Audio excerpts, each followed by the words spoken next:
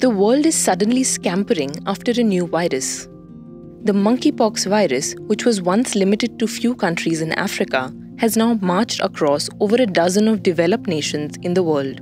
Until February 2022, it appeared in four countries outside Africa UK, US, Israel, and Singapore. But by May 2022, the United States, Canada, Australia, Portugal, Spain, Italy, France, Belgium, United Kingdom, Germany, and Sweden had more than 100 confirmed or suspected monkeypox cases.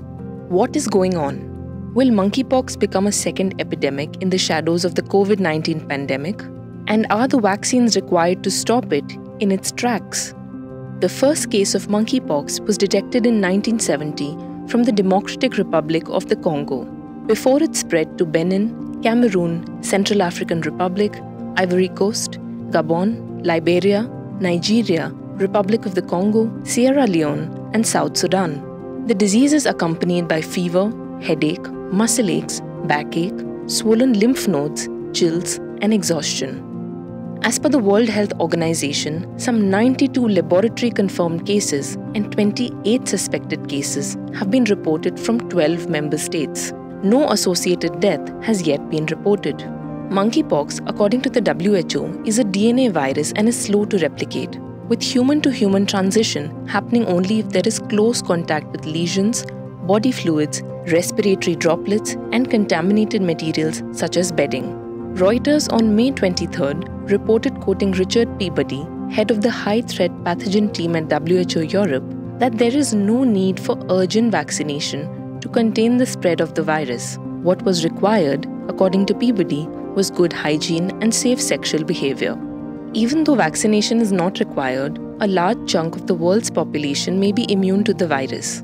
This is because of vaccination against smallpox, a disease that was completely eradicated by 1980. By the end of the 1970s, almost 80% population across the world had received the smallpox vaccine. Smallpox vaccine has an efficacy of 85% against the monkeypox virus. There is still a stockpile of smallpox vaccines in several countries with the US holding on to 100 million doses. There is only one monkeypox specific vaccine, MVA-BN, and treatment, both of which were approved in 2019 and 2022. Danish biotechnology company Bavarian Nordic, the only producer of a vaccine approved against monkeypox, plans to ramp up production after being approached by many countries keen on procuring vaccines against the disease. As the world still recovers from the aftermath of coronavirus, experts believe that fortunately, monkeypox is unlikely to reach a similar level.